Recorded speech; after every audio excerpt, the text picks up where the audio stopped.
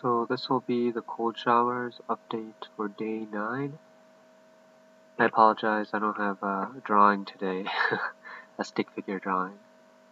Um, I have to admit I kind of cheated uh, today, where I had to take a hot, like a yeah hot shower beforehand, and then afterwards I took a cold shower. So it's still um, like I still counted, but it's not like a, a true cold shower, right? Just straight up cold shower.